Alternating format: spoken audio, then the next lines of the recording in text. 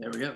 So, when I hit record, it'll bring up like a little, like a little thing that they'll say either uh, decline or accept. But it's it's actually all it's actually all good now. Okay. Great. So I always like to start off like what got us into this. But Oh, kind of just kind of, kind of, kind of a little of a backstory. yeah, sure. Um, I think my parents had a record player uh, in the basement and a few records down there from my stepdad. And I think the record player was broken, but I was just kind of always, uh, I don't know, enamored or infatuated with them, like this technology, like from, you know, years ago. Um, but I, I would say I didn't really get into it until um, I was in high school and I was really into this uh, emo indie rock band uh, called the Spill Canvas. Yeah. And uh, they released a uh, their album on vinyl and it included all these bonus tracks that the only way you could get it was if you bought the vinyl and i was like well i have to have it um, so i think my i think my mom bought it for me for my birthday and anyway i got it i uh, got the turntable up and going and i was hooked um, and so i started uh, you know listening to my stepdad's records and then it probably wasn't until 2011 uh, I graduated college. You know, college. You know, you're in this tiny dorm room with another person. It's not really a a good place to start collecting records. So uh, when I got my, I started sharing uh, this house uh, with a roommate, and I had a little more space. So anyway, 2011, I started buying uh, my own records and going to record shops, and then I was like really into it. The, like with me, there was always music in the house. Yeah. So I I, I actually grew up with uh, CDs. Yep. Same. Yeah. Yeah. So kind of like one of my earliest memories was listening to uh James Taylor. Oh yeah. Like we would always every Sunday we would listen to James Taylor and have pancakes. Oh yeah. So that that's kind of one of my earliest memories. Oh yeah. So eventually, down the road, about 10 years ago, my parents got me one of those all-in-one record players. Yes. Yes. I, I had that for a number of years, but I eventually started to be curious, like what was out there, like besides the all-in-one. So have having like a bigger setup. Yeah. Sure. And of course, I, ironically, at that time I was looking at new gear. That turntable broke. Oh wow. So so so it was like perfect timing. yeah, the timing was right. So I eventually stepped up to the it was the Audio Technica the this Audio Technica turntable, which Mhm. I which I still have. Okay. Very Uh, nice. So so it definitely has expanded from those like four or five vinyl records to having s- something like this IKEA Kallax uh case like like it's a uh, two by four on which I have. Nice. Yeah, it's it's amazing how fast it can multiply. Yeah. Have you had people want to give you records when they find out that you collect?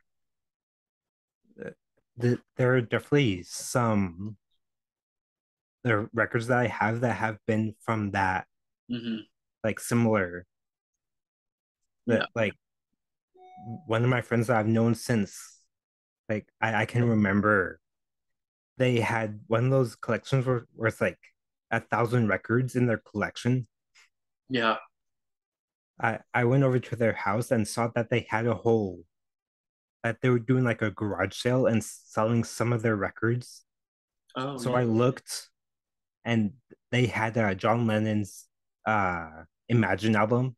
nice. So they actually gave me that for free. Oh, very nice. very cool. Um, yeah, you talk about the like the soundtrack to your youth. You know, your parents play music. My um, my dad, anytime he would like clean or work out, it was uh, John Cougar Mellencamp, uh, always on.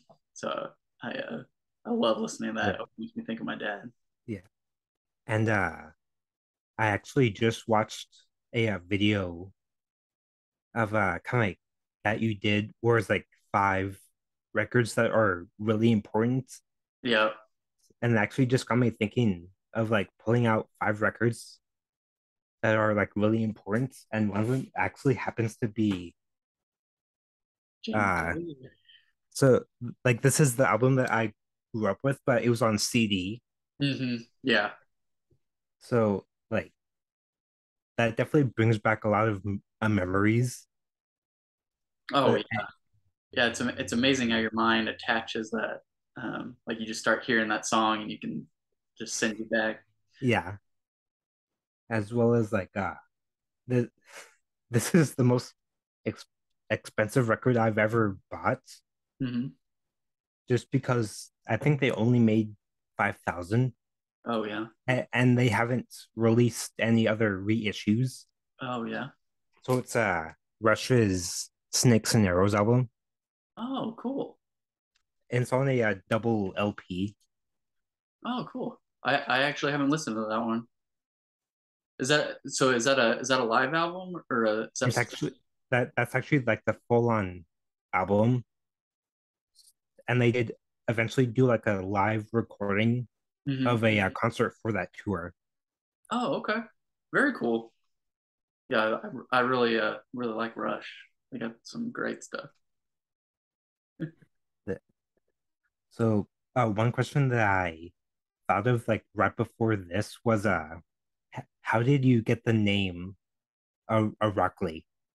Uh, uh, that would be uh, my wife um, well, and my son. So um, he's uh, he just turned four, but uh, he was eating, and he at the time he was really into uh, broccoli, and I was talking about doing this, uh, making some YouTube videos, and um, and my my wife was like, "Oh, what if you called it broccoli? Like, uh, you know, uh, vegetables are good for you, music's good for you." and do a play on that. So I know it's it's funny because I uh I just thought it was like unique, and then uh, I and, and because I've always said Rockoli, but uh, a lot of people struggle with the it's a made up word, so they pronounce it differently, and it doesn't bother me, but you know. but yeah, that's the that's the story behind it. And my and my wife drew the logo. If you've ever seen that with like the yeah. um, the little guy, the little broccoli playing guitar or whatever. I I saw that uh yellow what looks like a box set right behind you. Mm-hmm. Where it almost has like a like the spine it almost has like holes in it. Uh this one? But, yeah. But what uh, what what oh what it's a Bob's Burgers soundtrack. So that that that I I haven't seen the entire like all the episodes, but I've seen like a handful. Oh yeah. So so I I kind of like I'm kind of somewhat into it. Mm-hmm. It's a yeah my um again my wife uh loves that show and we watch that together and I, I really enjoy it too. Um, was it the voice actor for Bob uh, is it John H. Benjamin? I think is his name, but he does the voice of Archer, a bunch yeah. of other uh, characters on that. Like, yeah. uh, uh what's it called? Is it uh, night? Oh, why can't I think of it? Adult Swim. Adult yeah. Swim. Yeah. Yeah. I, have seen like one or two episodes of uh, Archer mm-hmm. because that that's a show that my dad would watch. Yeah. So, so like every like if we did have time, we would watch like an episode. Mm-hmm. And and it definitely isn't. Well, especially it being on Adult Swim, not not for kids. Right. Yeah. Yeah. It's definitely an adult cartoon. Yeah. yeah. Uh, I, yeah. I think it came out when I was in college. My roommates and I would watch it. Pretty funny. So, um, is there any like genre of music that is kind of like like one that at least like one or two genres that you listen the most? Right. De- definitely under the the rock umbrella. Yeah. I've gotten way more into uh, metal, um, probably in the last five, six years. Yeah. Um, it was something I was more of a indie, um, emo, pop punk in high school. Uh, listened to that a lot, um, and then uh, after I graduated college, I started listening to like uh, the Smiths, The Cure, that kind of stuff, and then uh, later on I got more into like Judas Priest, Black Sabbath, um, and then I've gotten like just here in the last couple of years like really deep into more extreme metal, the death metal and Yeah. black metal stuff.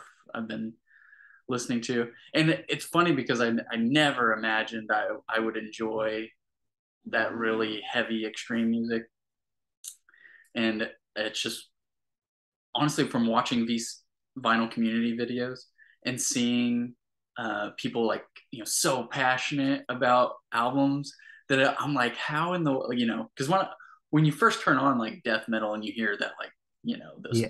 growly you know Cookie Monster vocals, you know I immediately was turned off. But I was like, no, there's something to this. Like, what? Like, I want it to click, and I really made it a like. I started asking like some people I knew in the metal community what you know what what is going to get me into this genre? Like how do i like like this? Like because i just did not understand. And uh, so I, I really made it a point to listen and try to um, figure out what it is. And uh, it definitely like one, once it clicks it clicks. Um, but uh, it's a uh, my, my wife hates it. She she thinks it's trash so. Like I like I kind of grew up with the whole like rock genre, hmm but definitely like very similar. I've been listening to a bit more and more like metal. Hmm and back in November of 2019 it was an event here in uh here in uh, uh, um LA oh yeah? Uh, it it had a Jay Weinberg of a, a Slipknot. Oh yeah. So he he was doing a uh, drum cl- like a drum class. Oh very cool. And I actually went? And when he would play like he played like a handful of uh, Slipknot songs. It was at like some venue where it only held like 50 people. Whoa well like probably like 50 to like 100 people. Okay. And of course when you he would play there was like a mosh pit. And, Oh, and that's definitely one thing I definitely that I'll take away from that. But like especially no matter what genre, when I saw the crowd, there were fans that were getting emotional because on how important Slipknot means to them. oh yeah. Yeah very passionate. Yeah. And uh, yeah and it's like what yeah it's like i wa- it's like man i want to figure i want to be that passionate. I want to Yeah. i want to know why. Well, well, just like besides being passionate, you could tell that like, fans were crying because they helped help them through some sort of oh yeah. dark time. oh yeah yeah and that, that was definitely my connection with uh you know more emo music in high school. Definitely uh, that like yeah how artists can articulate these emotions and feelings and you can just instantly relate. Yeah. And it's this band that I've been listening to since probably for the past 14 years. hmm Uh, how I heard about them, one of my friends made like a uh, one of those mixtapes, but for uh, CDs, Yeah. where it's just like a bunch of like random artists, and this band was on that uh mixtape, uh Skillet. Oh yeah. This is their uh, Rise album, which came out in 2013. And, and it definitely is an album that is very important because it definitely represented like a unique time for me. hmm So every time when I listen to that, it kind of not not really brings back memories, but like definitely makes makes me feel this album is like extremely like extremely important. Oh yeah. Yeah, it uh it, it, kind of reminds me of the whole um, you know, should we judge artists separately from their music? Um, I don't know if you've heard the, that conversation of like, you know, sometimes an artist will do uh, illegal things or questionable things in in their personal lives, and then it, you know, then there's like, oh, I'm gonna the mob, like I'm gonna burn all their CDs or like, you know, throw away. I'm never gonna buy music from them, and then, but then there's the other argument of like, you know, their their art is separate from them, like because of my attachment and the, to their music and like it became it's something else to me Yeah. like i don't care about them the person like what they made i have an attachment to um so i you know i keep that separate from the artist Yeah. um, i tend to be more that way but i think i'm not saying that an artist can't do something where i would be like whoa like, uh, Yeah. but i don't know I I've seen so many things where it's like, especially with people that are in the music world that are covered up in tattoos, hmm and when people see them, they think that they're like mean or rude or like Oh, yeah. like they like they have like this certain perception. Sure But yeah. there are times where I've met people like that, nicest people. Oh yeah. Yeah. Um yeah, like I think I uh stayed away from metal music when I was younger just because I was like scared or Yeah. afraid of it. I was definitely like it's like whoa, this is scary. Well, well kind of as this relates to what I said about going to this uh, Jay Weinberg Slipknot class. There definitely were people that were like tatted up, uh, ear piercings to like just like that. But like I would talk to them, you wouldn't like it's kind of some people have a hard time putting the two together. But, like having the nice personality, but also like being covered up in tattoos. Oh, just yeah. like being able to talk to people that like they don't care on like what you think of them. right. Yeah, it's definitely a misconception that Yeah. people with tattoos or leather studs or uh, mohawks or anything are are not nice because that is uh, the this is a very bad misconception and generalization because just because somebody dresses very you know alternative doesn't mean that they're not going to be nice to you. Yeah. But are, are are there like any artists that kind of you like a handful of artists that you would that you always listen to? Oh, uh, probably uh, the Smiths um, a lot. Morrissey, his solo stuff. Uh, uh, Candlemass, uh, Solitude Aeturnus. Uh, definitely play a lot. And then I, I don't know. I tr- I listen to a lot of new stuff, like new to me stuff, Yeah. um, all the time too. Uh, recently, recently gotten really into uh, uh, Sabotage, wearing a shirt now. Uh, heavy metal band. uh, it's yeah, fantastic. Um, they're they've been reissuing all their catalog here lately, and I've been picking them all up, and they're just all so good. But uh, what about you? Uh, definitely one of them, like one of the bands that I listen to a lot is uh Rush. Yeah. But also I was I I definitely do I've also been list kind of like listening to uh Switchfoot lately. That like Oh, yeah. like like I've been listening to their music for the like a number of years. hmm I've definitely been listening to them a bit more and more. Yeah. Um. Yeah. I- Yeah. I don't. I don't think I have anything by Switchfoot, but um. Yeah. Because what's what's one of their big big songs? I'm trying to think. Uh, well, well kind of the two that pop up that they always play in concert is uh, a Meant to Live okay. and okay. also and also um it's um Dare You uh Dare You to Move. Oh yeah. I think. Yeah. Yeah. Yeah. I think is uh. Yeah. Have you ever watched uh Rick Beato on YouTube? He does like music theory stuff, and Uh oh oh him. I Yeah, think he I I didn't he produce. I think he produced a few Switchfoot albums. I I'm I'm not sure about like producing, but probably at least like some sort of level of helping.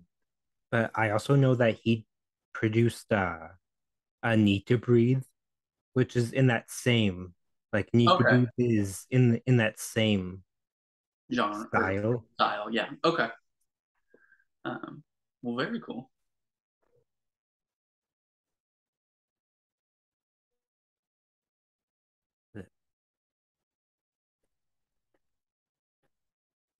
I actually do have uh two uh Smith uh Smith records.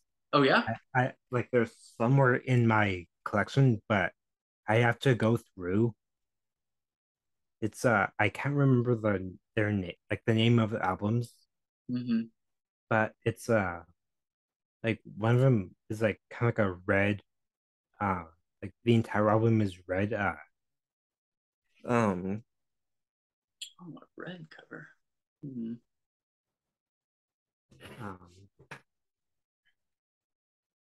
If it's orange, it, it- I I was it's probably more like an orange okay, it might be louder than bombs, which is a compilation they did, uh, which is really good. I um Is there like a like a lady on the front? yeah I think I think it's it must be louder yeah than bombs if it's yeah. yeah it actually is that so Okay. Yeah, that's a that's a fantastic one. I think my first one was a hat full of hollow, and it's a like a blue, a baby blue cover with a guy on the front, but um, it has uh, an alternative version of uh, this charming man on it that's really good, and uh, oh gosh, I can't remember the other track, but it's all yeah. That's what really I got, I bought that and then uh I was uh on a mission to find all their other stuff and go down the rabbit hole. I would say at least one of my records in my collection that is important is uh it's uh this album. Oh yeah. So it's a a Robert Plant of Led Zeppelin Yeah. And, and uh um Al um it was um um Al um Alison Krauss. Yep. Yeah. Like people weren't expecting Robert Plant of Led Zeppelin to do like a bluegrass album. No. Yeah. But it's one album that I do listen to a lot like a lot and I've been listening to it since it came out. Yeah. He he's de- he definitely has um his solo stuff is you know way different than Led Yeah. Zeppelin. But uh and I can't remember um one of his more recent solo albums where it's a kind of like a profile of him and it's like a red cover. You know what I'm talking about? Uh, I I'm not too familiar with his solo stuff. Um, well, if you like that Alison Krauss one, I think uh, you'd really dig it. I want to pull it up here real quick, and it, it's really somber, kind of more of like a singer songwriter um, kind of album, and it is called Carry Fire. It came out in 2017. Um, I'll try to you can see that cover. But uh gosh, that one's good. I, I listen to that one a lot. Um, but it's really like like I said, like very uh, non Led Zeppelin. uh, but it's great. Yeah. I actually happen to have seen a Robert Plant in concert. Oh yeah? That it was probably about 10 years ago. It was Oh, at it was at a uh, like like a iconic LA venue here in I uh it's I think it's called the Shrine oh, and it's been here since like the 20s yeah. And it's actually right right where uh, USC is. Oh, okay. So I saw him there. Like he did play a lot of his solo stuff, hmm but he did play a number of uh, Zeppelin tunes. Really? But he took the Zeppelin tunes and did like a Middle Eastern flair. Okay. Interesting. But, uh, of course, he played uh, uh, whole, whole lot of love. Oh yeah. But but they took it and did like a very like blues, like uh, kind of like a Louisiana blues style intro. Okay. But then eventually, which eventually led into the iconic uh, guitar intro. Oh, okay. Very cool. Yeah, I would imagine, gosh, what he, has he been playing music for like 30, 40 years? You know, he probably wants to change up those songs a little bit over time. Well, I think partly because that whole like blues is what he grew up with, hmm especially from like being like from like the 60s, that like being like a teen in like the 60s Oh yeah. being exposed to that like the previous uh, a, a generation of music. Oh yeah. Yeah. For sure. So I, I I bet it was fun to do playing a style of music from your childhood. Oh yeah. I would think.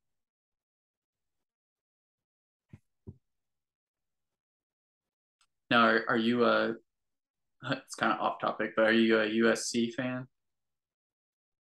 I, I I really don't follow college that much, hmm but it's actually like I either go with uh, uh Cal Poly, which is they have uh two locations in uh San Luis Obispo up in uh like the Central Coast, and one down in uh like that's actually down here in the uh, Southern California Oh, uh and uh it's it's either Cal Poly or uh University of uh, Michigan. oh, okay. Um, yeah, I, I asked just because I uh, USC um, has joined the Big Ten, which Yeah. is where you know Indiana University. I grew up in. Bloomington, where Indiana University is, and so that's like a big deal. Everybody's talking about them joining the conference here. Um, but I got I just got a warning that we have nine minutes left Yeah. on. Uh, have you gotten that before? The little timer thing. Yeah. Okay. That's so so it's it's something that I that I am uh, uh, uh, familiar with, Okay. but um Would you have I, any more questions? I think that wraps up the whole thing. Okay. Oh, so um, I uh, went back and I, I watched some of your videos, but um, do you? What's your like plan for the future, or like with your channel, or? I I think still doing a lot of um album reviews to a Mhm. lot of like uh, gear reviews, Yeah, but also definitely still doing stuff like this. yeah, yeah, yeah. I went back at uh oh, was it Groovy Lisa? Yeah, Talked to her. Yeah, so I, I watched some of that one. Um, yeah, they, yeah, these are fun. yeah. Um, uh, there was something else I was going to ask you, but I don't remember. Oh, wait. well, I, so did you grow up out in California? Yeah. Very cool. Um, it seems like another, I don't know, like it's its own country. Yeah. That like I, I've I've grown up here in like the greater LA area. hmm One thing that I've never gotten used to is the traffic. Oh, yeah. Like even just going like 20 miles, you have to plan like for it like the 20 miles to take like a two hours or something.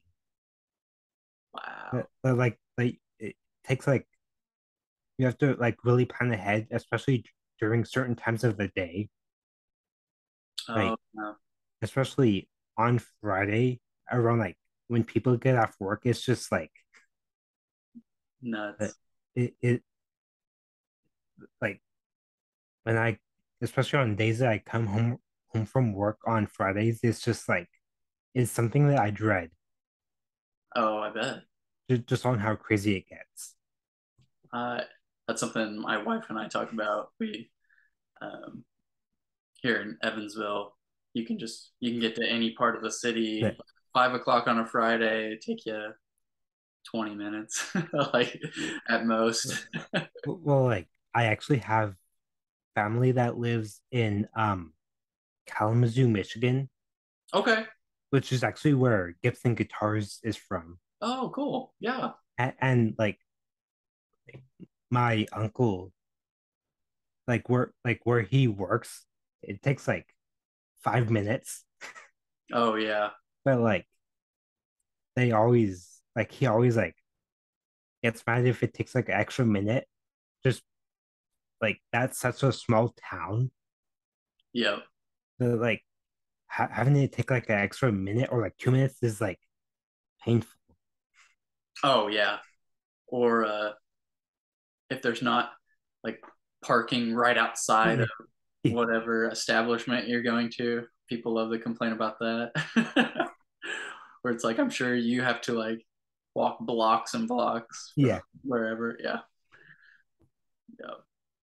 Yeah. My buddy, he used to live in New York, uh, New York City, and he didn't even have a car. He was like, it's just a waste. you just, you know, take the subway, taxi, Yeah.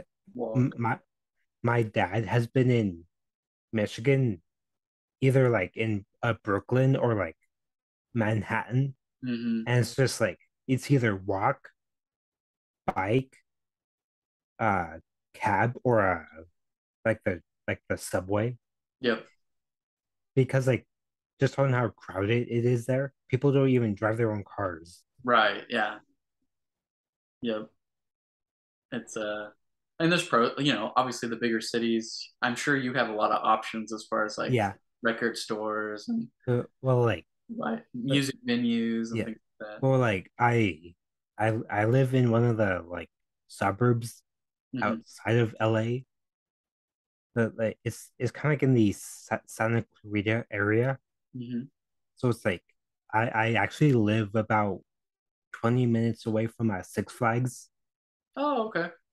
So it's like when you ever see like Six Flags uh LA, it's definitely not in LA just because on how crowded it is. Oh, I see what you're saying. Yeah. it's so it's in the Santa Santa uh kind of the uh, Santa Clarita area, which definitely is more easier on the traffic, but it definitely still has its LA like hard traffic spots. hmm Yeah, I remember in uh, high school I was in uh, what they call show choir. You sing and dance, um, and you do competitions. And we flew out to LA and did a competition my s- sophomore junior year, and I was just like amazed. I don't know what highway it was, but I, there were so many lanes. Yeah. Uh, I was I just didn't even know they built highways that big. It was just incredible to me. Yeah. So I actually think that wraps up the whole um uh, uh conversation. Okay. But, like partly because of like the time limit. Yeah, we got two minutes and 40 Yeah. seconds.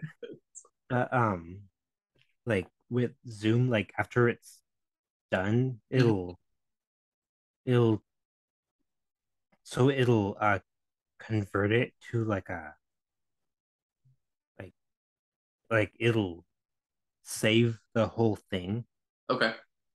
and it'll probably save it to your uh a computer Okay. uh, so you can actually just send it Okay. No problem. Um, well, thanks for reaching out to me. yeah and uh, taking the time to yeah talk records. I I, I definitely enjoyed the, this whole thing Yeah, me too. So, uh, we'll have to do it again in the future. Maybe we can like do uh, a different, like a topic related to records or something. yeah Discuss. All right.